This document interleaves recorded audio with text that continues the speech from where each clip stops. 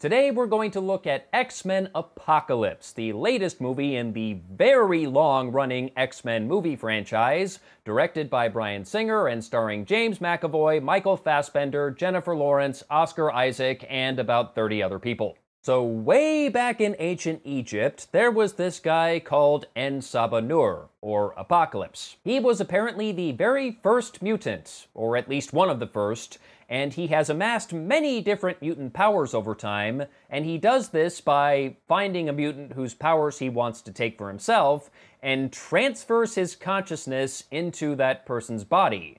And not only does this allow him to take over that person's power, but he also retains any powers he had in his previous body. I have no idea how that works. I don't know how you can transfer mutant powers that are tied to a biological evolution just by transferring someone's consciousness. Maybe it makes more sense in the comics, I don't know. Some people attempt to assassinate him and fail, but they do succeed in killing his four associates, aka the Four Horsemen of the Apocalypse, and they bury him deep in the Kol-Kol ground. Fast forward to 1983, and Apocalypse has freed himself from his tomb, acquired a new set of horsemen, and is ready to tear down the world and rebuild it as he sees fit. And it's up to the X-Men to stop him. So, there is a moment in this movie that I'm sure damn near everyone else who reviews this movie is going to mention, but fuck it, I'm going to talk about it anyway. There's a moment where Jubilee, Jean Grey, Cyclops, and Nightcrawler all go to see Return of the Jedi, which is really the only reason I know this movie takes place in 1983. Uh, well, that and there's a scene where Angel is listening to Metallica's Four Horsemen. Appropriate. But anyway, they go see Return of the Jedi. Oddly enough, no one seems to pay any attention to Nightcrawler. Uh, big blue guy, two fingers and a thumb on each hand, a tail. You'd think he'd draw some extra attention, but no one even bats an eyelash at him. Little weird, but anyway, as they're coming out of the theater, they're talking about, you know, whether the first Star Wars movie was better or whether Empire was better, and at the end, they can all agree the third movie is always the worst. Now, it's easy to interpret this as being a jab at X Men The Last Stand, which was the third movie of the original X Men trilogy and was by far the worst. Oh man, it was the worst.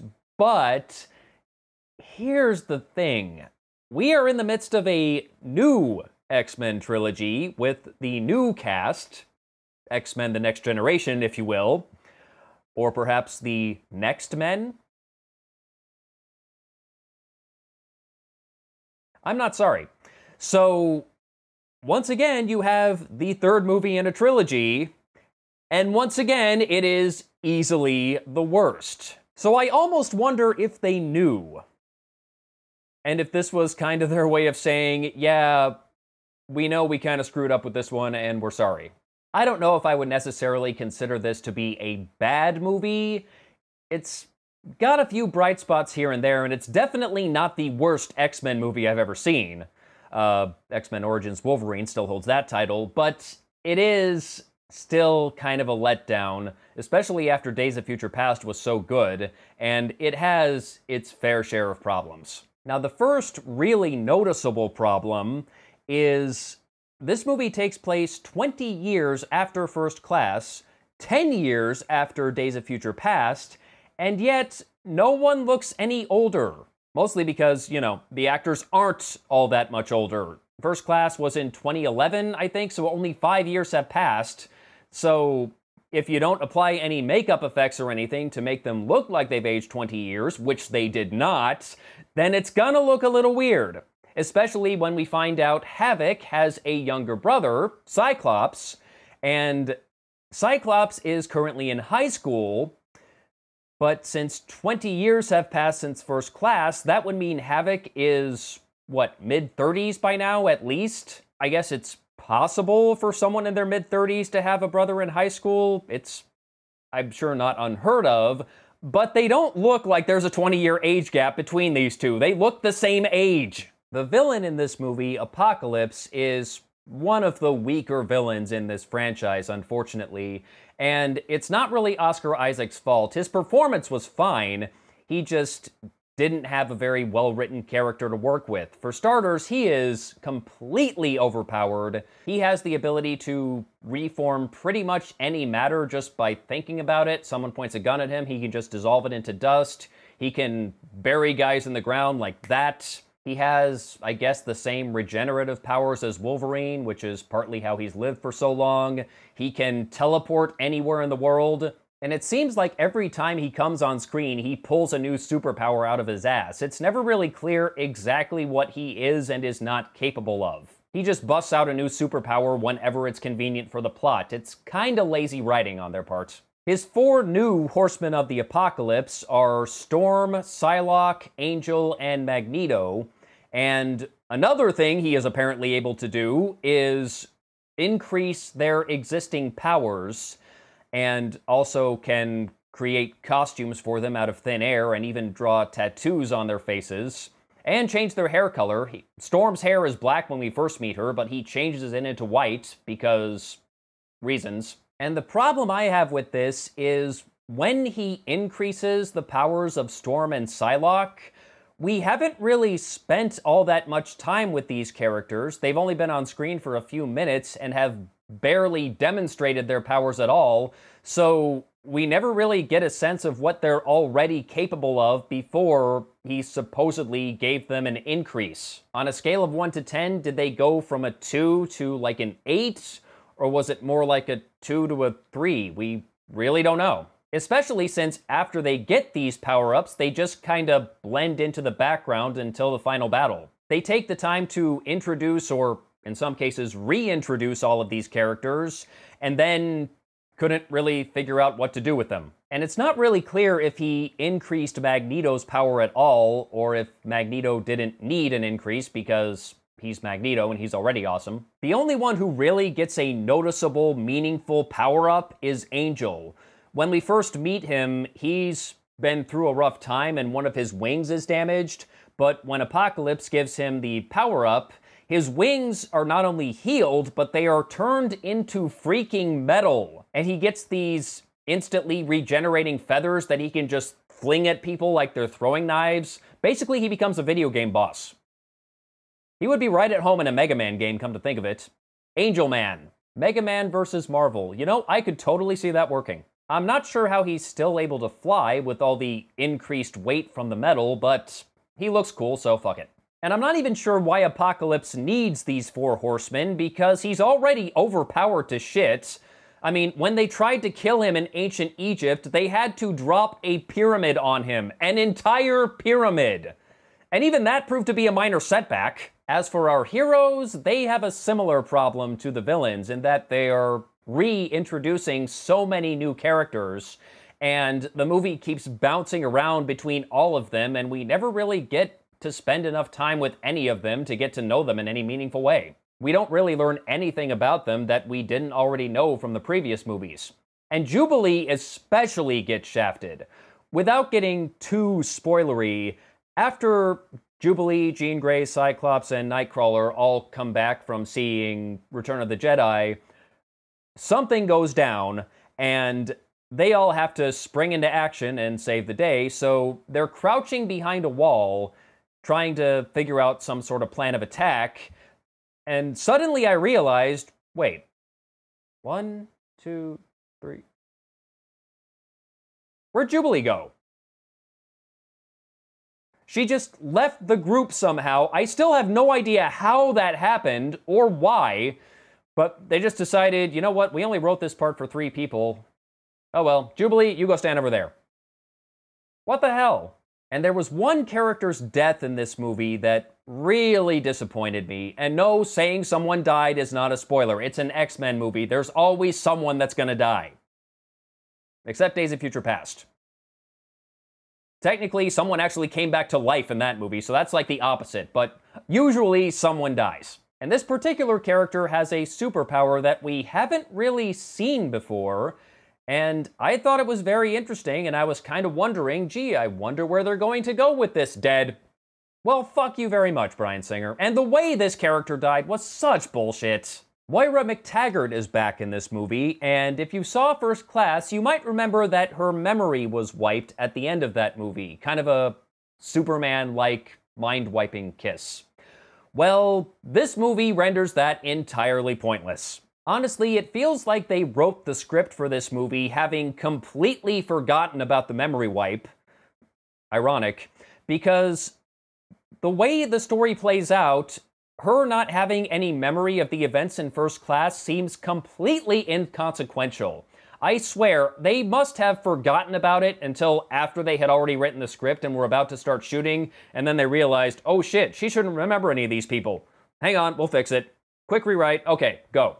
For that matter, her very presence in this movie seems inconsequential, because she shows up early on basically just to play the exposition fairy and tell everyone about Apocalypse, and for the rest of the movie, she keeps hanging around but doesn't actually do anything. I have no idea why she's there. And then by the end of the movie, she has her memory back, so that was a waste of time. And because these movies are always PG 13, they are allowed one F bomb. I kind of feel like this movie wasted its F bomb. And I admit this is kind of a silly thing to complain about, but the first two movies use their F bombs pretty well. This one just felt like kind of a letdown. And at the very end of this movie, there is a conversation between Magneto and Professor X that is almost verbatim taken from their conversation at the end of the first X Men movie. And I have no idea why they chose to do that. It just felt unnecessary. And also a bit out of place. You know, when Professor X says, I feel a great swell of pity for the poor soul that comes to our school looking for trouble.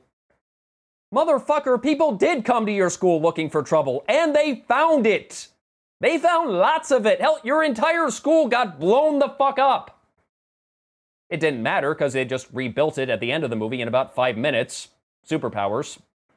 Consequences? What are those? But still, they found trouble. You really want more of this? What the fuck? At the end of the first X Men movie, that line worked just fine. Here, it just it doesn't. And one more thing about the end of this movie. Apparently, we're doing the Phoenix Saga again. Or at least they're teasing the possibility that they could do the Phoenix Saga again. Because that went so well the last time. I really don't want to see that again. I don't. And I know what some of you are thinking. Well, maybe this time they can do it right. Yeah. I don't think they will. I'm sorry, I do not have enough faith in them to do that. I mean, keep in mind, the guy who wrote the screenplay for Apocalypse also wrote the screenplay for The Last Stand. He's tried this once before and fucked it up. I don't think he's going to get it right a second time. I don't. As far as the cast in this movie, I think the new cast members all did reasonably well given what they had to work with. Some of them didn't have much to work with. Olivia Munn, especially, I swear she had two lines of dialogue. Uh, but she delivered both of them well. I'll, I'll give her that. But yeah, man, she was wasted. I was very happy when they cast Sophie Turner as Jean Grey, and she did not disappoint. It's just a shame she didn't have more to do. Tye Sheridan was okay as Cyclops. Um, the first time they've had Cyclops in one of these movies, and I didn't hate him, which I know kind of sounds like damning with faint praise, but you know, it's it's still a step up. Cyclops did not suck for once. Kodi Smit-McPhee is the new Nightcrawler. I thought he did an okay job. Uh, wasn't quite as good as Alan Cumming, but Alan Cumming's a very tough act to follow. So, you know, all things considered, he did fine. Again, I know I'm sounding like a broken record here, but I wish he had more to do because he doesn't really get to do a whole lot until the very end.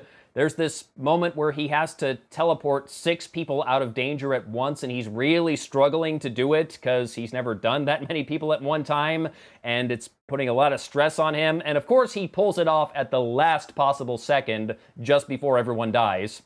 But while this is going on, I'm thinking, wait, couldn't he just very quickly teleport them one at a time? Just keep going back and forth? Because we know he can do that.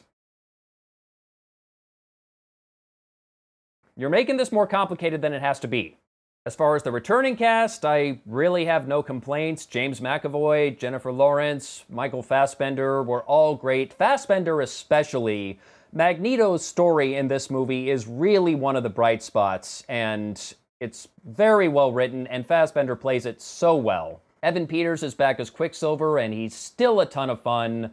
And once again, he gets a big slow motion action sequence, much like the time in a bottle scene in Days of Future Past. I guess we can call this one the Sweet Dream scene.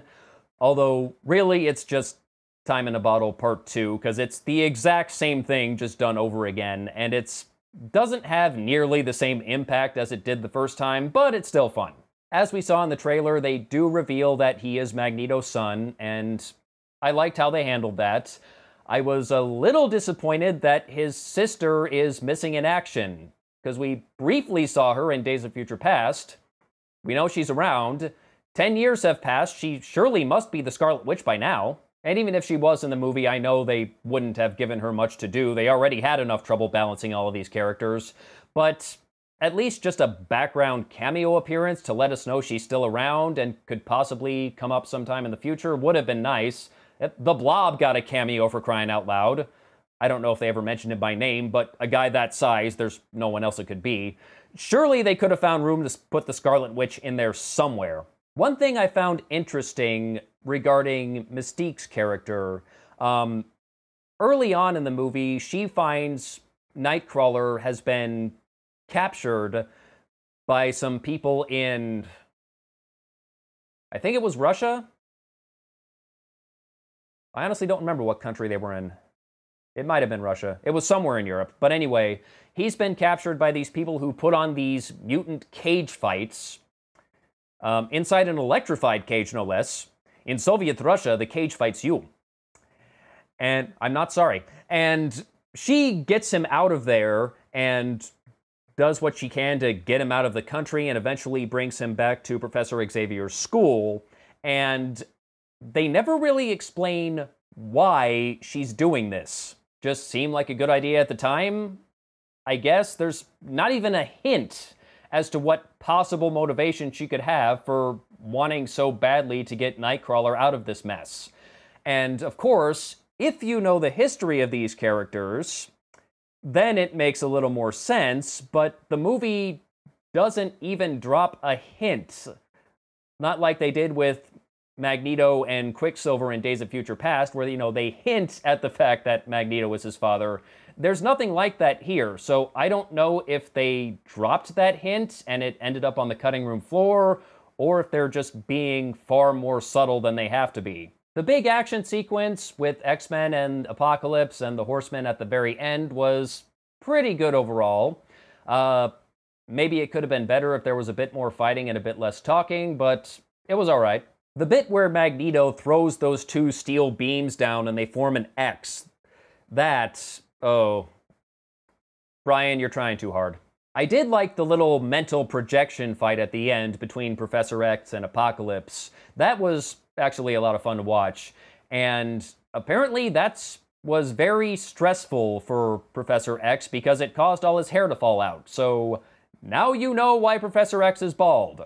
Did that really need an explanation? I don't know what it is about Bryan Singer and try and come up with storyline explanations for people's hairstyles. They did it with Storm and Xavier in this movie. He did it with Rogue in the first movie.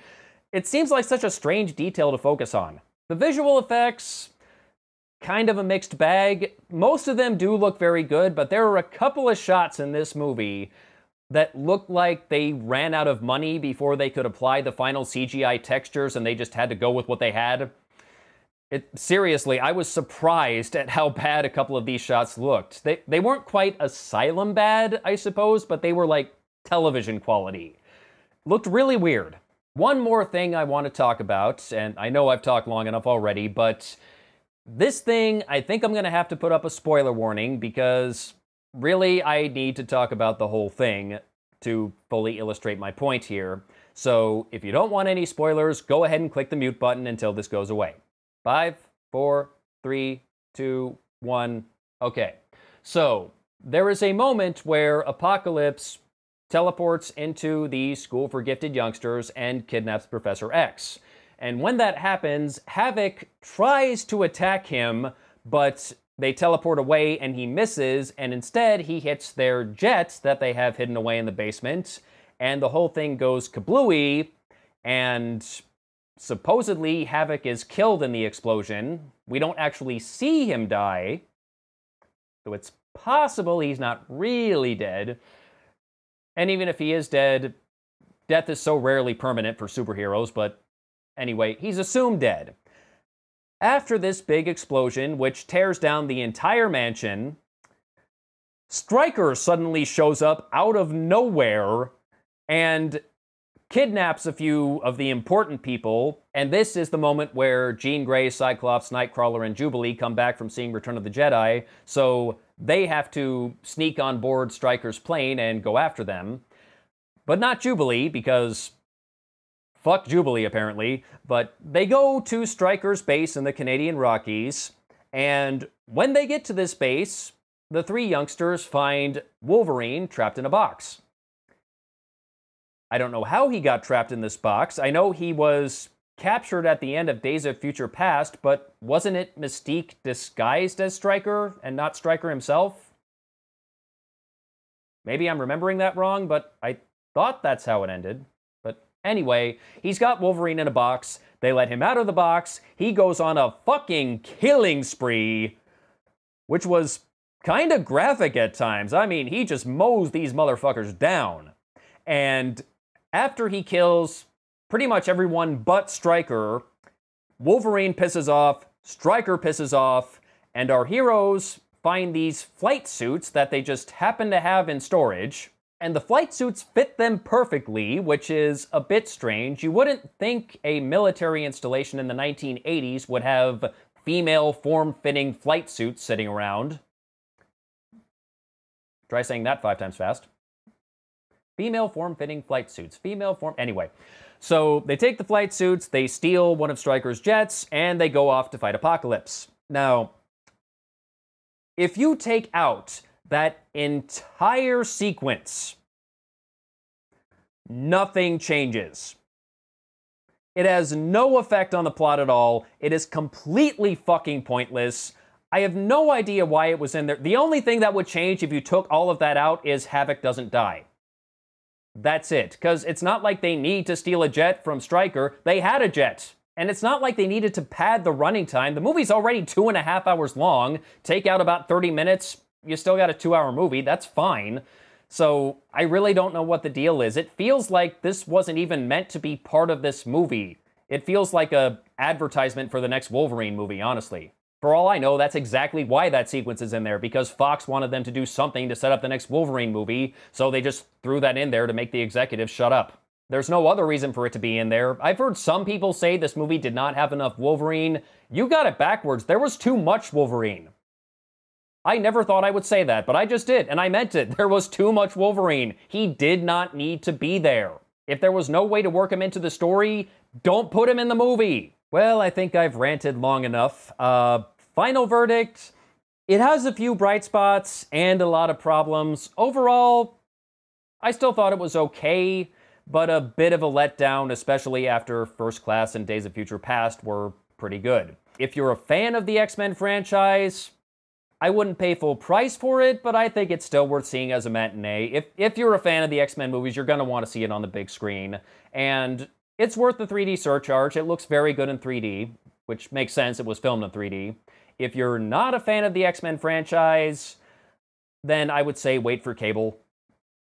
I mean, cable TV, not the character cable. That's something else. But yeah, but don't bother seeing it in theaters because it's it's going to be a waste of money for you. And yes, there is a post-credit scene, which I guess is teasing sinister things to come.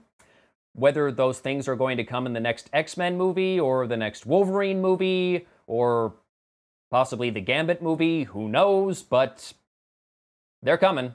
And that about wraps it up for X Men Apocalypse. Till next time, take care.